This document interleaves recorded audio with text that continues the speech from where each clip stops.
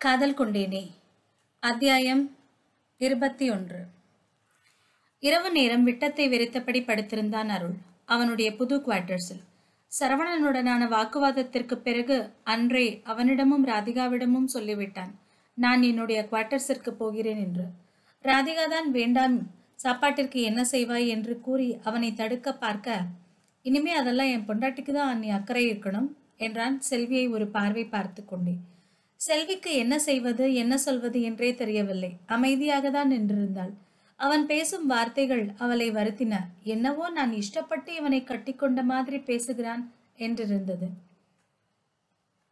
சரவணன் இவனுடன் பேசுவதால் ஒரு பிரயோஜனமும் இல்லை என்று அமைதியாகிவிட்டான். சரவணனும் ஒருமுறை அவன் பங்கிற்கு தனியாக போக வேண்டாம் என்று சொன்னான். ஆனால் அருள் அதை காதிலேயே போட்டுக்கொள்ளவில்லை அன்று ராதிகாவை ஹாஸ்பிட்டல் அழைத்து போய் மகப்பேறு மருத்துவரை பார்த்துவிட்டு அவர் சொன்ன ஜாக்கிரதைகள் எல்லாம் ராதிகாவிடம் சொல்லி எப்பொழுதும் போல ஹாஸ்டல் வந்து விட்டாள் செல்வி.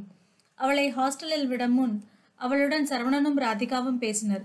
நீ அவனோட சேர்ந்து வாழ இஷ்டப்படுறியா செல்வி? என்று ராதிகா செல்வியிடம் கேட்டாள். எனக்கு தெரியல அக்கா. இந்த கல்யாணமே நான் எதிர்பாராத ஒன்று தான் சத்தியமாக எனக்கு தெரியாது அக்கா. இவங்க இப்படி பண்ணுவாங்கன்னு கொஞ்சமாவது தெரிஞ்சிருந்தா நான் ஐயா கிட்ட உடனே சொல்லியிருப்பேன். ஆனா இவங்க என்கிட்ட நேரடியா எதுவும் சொன்னதே இல்லை. என்னை பார்க்க ஒரு ரெண்டு மூணு தடவை வந்திருக்காங்க. எழில் கல்யாணம் முடிஞ்ச உடனே நான் அதை சொல்லிடலாம்னு தான் இருந்தேன் என்று அவளின் ஐயாவிடமும் அக்காவிடமும் தன்னிலை விளக்கம் கொடுத்தாள் செல்வி. சரவணனுக்கும் அவள் குழந்தையின் சந்தோஷ விஷயம் சொல்லியிருந்ததால் கோபம் சற்று மட்டுப்பட்டது. அதுவும் இல்லாமல் அவன் நியாயவான். செல்வியின் பங்கு இந்த திருமணத்தில் எதுவும் இல்லை என்றறிவான். தன் தம்பி அவளின் மேல் அவ்வளவு காதல் கொண்டிருந்தால் அவள் என்ன செய்வாள் என்றே தோன்றியது. மேற்கொண்டு என்ன செய்யலாம்னு இருக்கா? என்றான் சரவணன். இந்த கேள்வி சற்று அபப்தந்தான் என்று அவனுக்கு தெரியும். ஏனென்றால் எக்காரணம் கொண்டும் அருள் செல்வியை விடமாட்டான் என்று தெரியும். இருந்தாலும் அவளின் விருப்பம் கேட்க வேண்டும் என்பதற்காக கேட்டான். இவ்வளவு நாளா நீங்க என்ன சொன்னீங்களோ அதுதான் செஞ்சேன். இனிமேலும் அப்படிதான் செய்வேன் என்று உறுதியாக கூறினாள். அப்படி இல்லை செல்வி இது கல்யாண விஷயம். உன் முடிவும் முக்கியம். அவன் வேற என் தம்பியா இருக்கான் அதனால நான் எதுவும் சொல்ல முடியாத நிலைமையில இருக்கேன். உன் இஷ்டம் தான் இதுல. நீ எப்படி செஞ்சாலும் சரி என்று விட்டான் சரவணன் அவனின் முடிவாக. செல்விக்கு உடனே எந்த முடிவும் எடுக்க முடியாததால் அமைதியாக அவன் பேச்சை கேட்டுக்கொண்டாள் இதெல்லாம் அருளுக்கு தெரியாது. முடிஞ்சா என்னோட வந்து வாழ சொல்லு என்று சொல்லியும் சரவணனும் செல்வியிடம் ஒன்றும் சொல்லாததும் செல்வி அவனிடம் என்ன ஏதென்று பேசாததும் அருளுக்கு கோபத்தையும் மன வருத்தத்தையும் கிளப்பியது.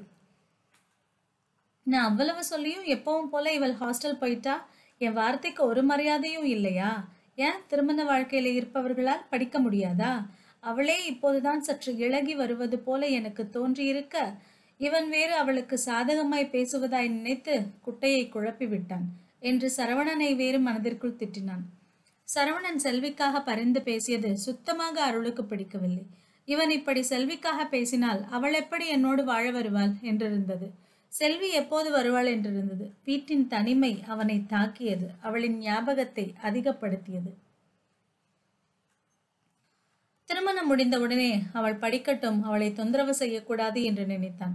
எல்லோரும் இந்த திருமணத்தை எதிர்க்க எதிர்க்க செல்வியிடமிருந்து ஒரு பதிலும் இல்லாமல் இருக்க அவளை தொந்தரவு செய்தேதான் தீருவேன் என்று அவனுக்கு அவனே முடிவெடுத்துக் கொண்டான். அவளின் சம்மதம் இல்லாமல் திருமணம் செய்தது சற்றும் தவறாகவே படவில்லை அவனுக்கு. இரவு பன்னிரண்டு மணி. அப்போது அந்த நேரத்தில் அவளுக்கு மெசேஜ் அனுப்பினான். நீ தூங்கிட்டியா? என்று.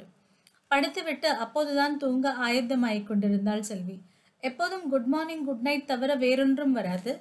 இப்போது புதிதாக தூங்கிட்டியா என்று கேட்கிறான். இவள் பதில் அனுப்புவதா வேண்டாமா? என்று யோசித்துக் கொண்டிருக்கும் போதே எனக்கு தூக்கம் வரலை என்று அடுத்த மெசேஜ் வந்தது. இவள் போனையே பார்த்து கொண்டிருப்பதை பார்த்த ஆனந்தி யாரு? அண்ணாவா? என்றாள். ஆமாம் என்று தலையாட்டினாள் செல்வி. ஃபோன் பண்ணுறாங்களா எடு என்றாள் ஆனந்தி. இல்லை மெசேஜ் அனுப்புகிறாங்க ரிப்ளை பண்ண. இல்லை மாட்டேன் என்று தலையாட்டினாள். ஹே என்ன இது? இன்னும் சின்ன பிள்ளை மாதிரி அவரோட நடந்த கல்யாணத்தை முறிக்க உனக்கு இஷ்டமில்லாத பட்சத்தில் அவரோட பேச உனக்கு என்ன தயக்கம்? பதிலுக்கு மெசேஜ் பண்ணு என்று அதட்டினாள். செல்வி பேசாமலேயே இருக்கவும் அருள் அண்ணா உனக்கு நல்ல சாய்ஸ் உன்னை எவ்வளவு விரும்புறாங்க?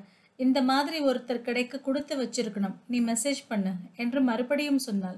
ஆனந்தி அவ்வளவு சொல்லவும் சற்று இளகிய செல்வி அருளுக்கு பெ- பதில் மெசேஜ் அனுப்பினாள். இன்னும் தூங்கலை என்று. ஏன்? என்ற பதில் கேள்வி வந்தது. மெசேஜ் மூலமாக அல்ல தொலைபேசி மூலமாக. அவளின் பதில் வந்த உடனே அழைத்து விட்டான். செல்வி எடுப்பதா வேண்டாமா? என்று மறுபடியும் தடுமாற எடுடி என்று மறுபடியும் அதட்டல் போட்டாள் ஆனந்தி. அவள் அதற்றி அதட்டலில் உடனே போனை எடுத்து விட்டாள் செல்வி. ஏன் செல்வி இன்னும் தூங்கலை? என்றான் அருள். படிச்சுட்டு இருந்தேன் என்றால் ஒற்றை வார்த்தையில். தினமும் இவ்வளவு நேரம் படிப்பியா? இல்லை எப்போவாவது அடுத்த நாள் டெஸ்ட் இருக்கும்போது கண்முழிச்சு படிப்பேன். நாளைக்கு டெஸ்ட் இருக்கா? ம் இருக்கு. இப்படியாக தொடங்கிய பேச்சு அரை மணி நேரம் கழித்தே முடிவு விட்டது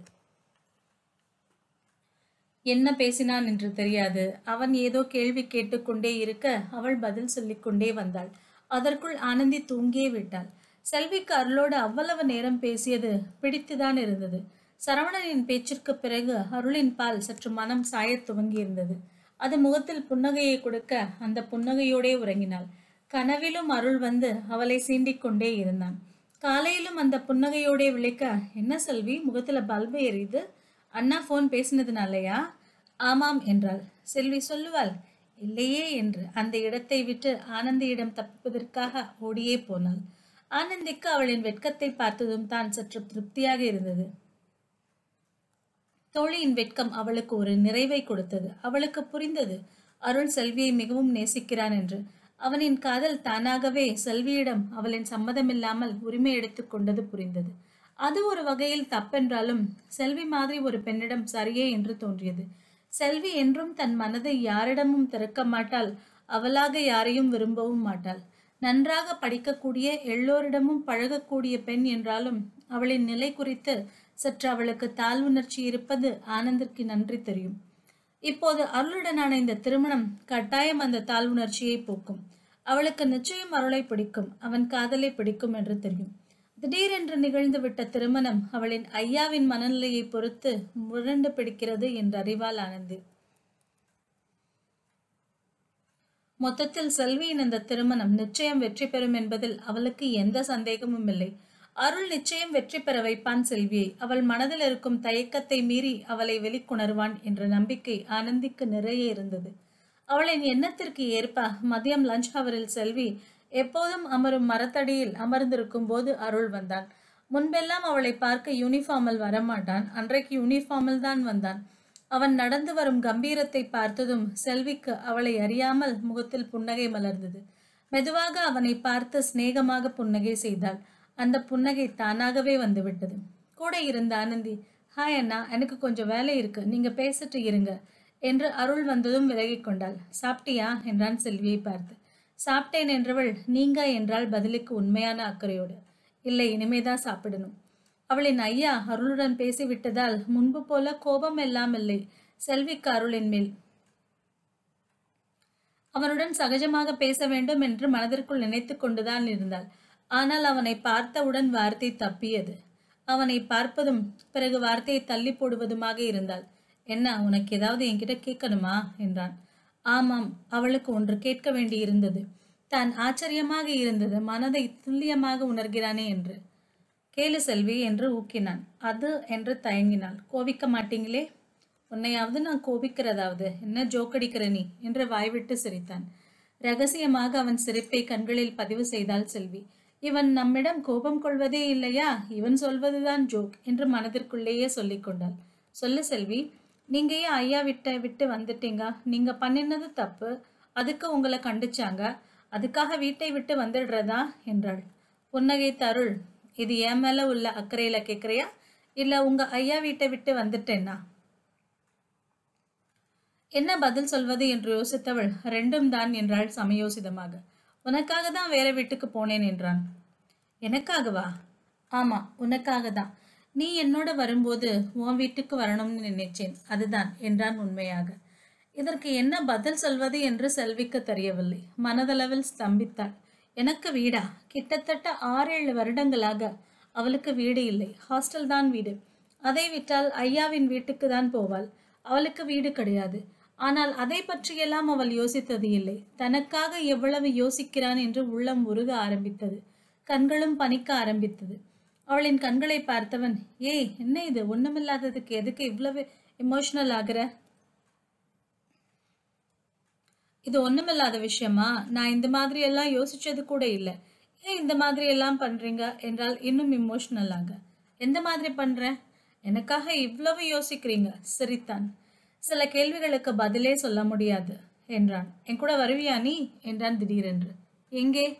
எங்கேயோ வருவியா மாட்டியா? என்றான் கராராக. இவ்வளவு நேரமாக இருந்த கனிவான குரல் மாறிவிட்டது. அதில் ஒரு அதட்டல் தெரிந்தது. நான் வரல கிளாஸ் இருக்கு. பரவாயில்ல ஒரு நாள் கிளாஸ் பட்னா கட் பண்ணா ஒன்றும் ஆகாது. என்னோட வா என்றான் உரிமையாக. செல்வி தயங்க ஆனந்திக்கு அழைத்தவன் செல்வியை நான் வெளியே கூட்டிட்டு போறேன் சாயந்தரம் வந்துடுவா என்றான். வெளியே அவனுக்காக கொடுத்திருந்த ஜீப் நின்றிருந்தது. அவனே செல்ஃப் டிரைவில் எடுத்து வந்திருந்தான். அவளுக்காக கதவை திறந்து விட்டான். இந்த வேலையெல்லாம் இவன் ஏன் செய்கிறான் என்று கூச்சமாக இருந்தது. அவளுக்கு கதவை திறந்து விட்டவன் அவள் ஏறியதும் கதவை சாத்தி மறுபுறம் டிரைவிங் சீட்டில் ஏறி அமர்ந்தான். வேகமாக சாலையின் ஓட்டத்தில் ஜீப் ஓடியது. அவள் அவன் அழைத்தும் வரவில்லை என்று தயங்கியதற்கு கோபம் அருளின் முகத்தில் தெரிந்தது. அவனின் கோபத்தை பார்த்த செல்விக்கு பேச்சை எப்படி ஆரம்பிப்பது என்று தெரியவில்லை. அவன் இன்னும் சாப்பிட வேறு இல்லையே என்று கவலையாக இருந்தது. நம்ம எங்க போறோம்? என்றாள். போனா தெரிஞ்சுக்குவேன் என்றான் பட்டென்று. அவன் போய் நிறுத்தியது புகழ்பெற்ற ஒரு நகைக்கடை. இங்க எதுக்கு? என்றாள் தயக்கமாக. உள்ள வர்ற நான் வாங்கி கொடுக்கறத போட்டுக்கிறேன் ஏதாவது எல்லார் இதழ்லையும் தயங்கணுன்னு தெரிஞ்சது என்ன பண்ணுவன்னு எனக்கே தெரியாது என்றான் மிரட்டலாக. இவன் நகை வாங்கி கொடுக்க அழைத்து வந்திருக்கிறான் என்று புரிந்து போயிற்று. நீங்க இன்னும் சாப்பிடலை என்று ஞாபகப்படுத்தினார் சாப்பிடலாம் ஒன்றும் அவசரம் இல்லை இப்போ எனக்கு நகை அவசியமில்லை என்றால் அமைதியான குரலிலேயே செல்வி. எக்ஸ்ட்ரா நகை எதுவும் நான் வாங்கல. உனக்கு தோடும் வளையலும் தான் வாங்க போறேன். நீ என் பொண்டாட்டின்றது ஞாபகம் இருக்கா இல்லையா? இந்த மாதிரி பிளாஸ்டிக் தோடு போட்டுட்டு சுத்தினா எனக்கு தான் கேவலம். கேட்ட செல்வியின் முகம் சுருங்கி விட்டது இதுல என்ன கேவலம்? எத்தனை வருஷம் நான் இதை போட்டுட்டு தானே சுத்திட்டு இருந்தேன்? என்றான் குரலில் வருத்தத்தோடு. சாரி கேவலம்ன்ற வார்த்தையை உன்னை ஹர்ட் பண்ணிடுச்சுன்னு நினைக்கிறேன். நான் அதை சொல்லல. அப்போ நீ மிஸ்ஸஸ் அருள் பாண்டியன் கிடையாது. இப்போ நீ மிஸ்ஸஸ் அருள் பாண்டியன் முன்ன உனக்கு யாரும் கிடையாது. நீ எப்படி இருந்தாலும் பிரச்சனை இல்லை. ஆனா இப்போ அப்படி இல்லை. உன்னோட ஒவ்வொரு அசைவும் மிஸ்ஸஸ் அருள் பாண்டியனா தான் காட்டும். அப்படிதான் காட்டணும் என்றான் குரலில் கடுமையை புகுத்தி. அந்த துவனி சற்று இல்லை. நிறைய பயத்தை கொடுத்தது செல்விக்கு. அவன் முகத்தையே பயந்தபடி பார்க்க அவளின் பயந்த முகத்தை பார்த்தவன் நீ அடிக்கடி என்ன டென்ஷன் பண்ற. நான் கோபமாயிடுறேன் என்று அவளை சமாதானப்படுத்தினான். இறங்க என்று அவளை கூட்டிக் கொண்டு போனான் கடைக்குள். இவன் யூனிஃபார்மையும் இவன் பொசிஷனையும் பார்த்த உடனே கடைக்குள் ராஜ மரியாதை அவனுக்கு. அவனோடு போவது சற்று பெருமையை கொடுத்தது செல்விக்கு. அவளிடம் எதுவும் கேட்கவில்லை. அவனே மூன்று செட்டோடை செலக்ட் செய்தான். பின்பு அவனே நான்கு வளையல்களை தேர்ந்தெடுத்தான். இன்னும் செயின் மாதிரி ஒன்று தேர்ந்தெடுத்தான். அது செயினை விட கொஞ்சம் பெருசாக இருந்தது. ஆனால் ஆரம் போலவும் இல்லை. எல்லாம் நன்றாக இருந்தது. நல்ல ரசனை இவனுக்கு என்று தோன்றியது செல்விக்கு. அவளின் முக பாவனைகளை பார்த்து அவளின் மனதை படித்தவன் பின்னா உன்னையே செலக்ட் பண்ணியிருக்கேனே என்றான். ஆங் என்றால் புரியாமல் செல்வி. நல்லா செலக்ட் பண்ணியிருக்கேன்னு நினைச்ச அதான் உன்னையும் செலக்ட் பண்ணியிருக்கேன் என்றான் மறுபடியும். ஒரு சிறிய மனதை மயக்கும் புன்னகையுடன். லேசாக வெட்கம் எட்கி பார்த்தது செல்விக்கு. அதோடு நிறுத்தவில்லை. ஒரு கோல்டு வாட்ச் வேறு வாங்கினான். ஒரு தோடுக்கு பஞ்சமாயிருந்த தனக்கு இவ்வளவா என்றிருந்தது செல்விக்கு. அவனிடம் வேண்டாம் என்று சொல்லவும் பயமாயிருந்தது. எல்லாம் வாங்கி முடித்தவன் அவன் பில் செட்டில் செய்ய இவ்வளவா? என்று மலைத்தாள் செல்வி. தனக்காக எவ்வளவு பார்த்து பார்த்து செய்கிறான்? என்றிருந்தது. ஜீப்பிற்கு வந்ததும் போட்டுக்கோ என்று கொடுத்தான். மெதுவாக தயங்கி தயங்கி பேசினாள் செல்வி. நான் ஒன்று சொன்னால் நீங்கள் கோச்சிக்க கூடாது என்றால் பீடிகையோடு. கோவிக்கிற மாதிரி சொல்லாத. இதில் தோடு ஒரு வள்ளல் மட்டும் எடுத்துக்கிறேன். மீதியெல்லாம் நீங்களே வச்சிருங்க. நான் இவ்வளவு தான் உபயோகிப்பேன். ஹாஸ்டலில் இருக்கிறதுனால அங்கே வைக்கிறது சேஃப் கிடையாது. நீங்களே எடுத்துகிட்டு போகிறீங்களா அதுவும் இல்லாமல் இதெல்லாம் போட்டு எனக்கு பழக்கம் இல்லை. திடீர்னு போட்டால் அன்ஈஸியாக இருக்கும். கொஞ்சம் டைம் கொடுங்க. என்றால் இறைஞ்சுதலாக. அவள் தயங்கி தயங்கி பேசினாலும் தான் கொடுப்பதை வேண்டாம் என்பதாக பேசவில்லை. நிஜத்தை தான் பேசுகிறாள் என்று உணர்ந்தவன் சரி ஆனால் வாட்ச் கட்டிக்கணும் என்றான். வாட்ச் எங்கள் ஐயா வாங்கி கொடுத்தது இருக்கு. அது எனக்கு ராசி. நான் அதைத்தான் கட்டுவேன் என்றால் சிறு பிள்ளை போல. உங்க ஐயா வாங்கி கொடுத்தது இருக்கட்டும். உங்க ஐயாவோட தம்பி வாங்கி கொடுக்கறதையும் கொஞ்சம் கட்டு என்றான் அவள் போலவே. அவனின் பதிலை ரசித்தாலும் அவள் பதில் பேசாமல் அமர்ந்திருக்க சரி உன் இஷ்டம். எனக்கு இப்போவாவது இந்த வளையல் வாட்ச் தோடு செயின் எல்லாம் போட்டு காட்டேன் என்றான் கண்களில் காதலோடு. அவன் கேட்ட விதம் அவளுக்குள் மெலிதான வெட்கத்தை தோற்றுவித்தது. அவள் முகத்திலும் நன்றாக அது தெரிந்தது. ரசனையோடு பார்த்தவன் போட்டுக்காட்டேன் செல்வி என்றான் மறுபடியும். சரி போட்டுக்கிறேன் என்றவள் போட்டுக்கொண்டாள். இன்னும் செழிப்போடு தெரிந்தாள் செல்வி. நகை பெண்களுக்கு அழகுதானே? அந்த அழகு அவன் கண்களில் அதீத காதல் தெரிய செய்ய அதை பார்த்ததும் பார்க்காதவள் மாதிரி நீங்க இன்னும் சாப்பிடலை என்று ஞாபகப்படுத்தினாள். பசிக்கலை என்றான். இந்த கதை நல்லா இருக்கே சாப்பிடாம இருக்க போறீங்களா? என்று கடிந்தாள். அதற்று நினைத்தாலும் குரல் அவளை அறியாமல் கொஞ்சியது. நீ எனக்கு கம்பெனி கொடுக்குறியா? நான் சாப்பிடுறேன் என்று பேரம் பேசினான். நான் சாப்பிட்டுட்டேன் என்றாள்.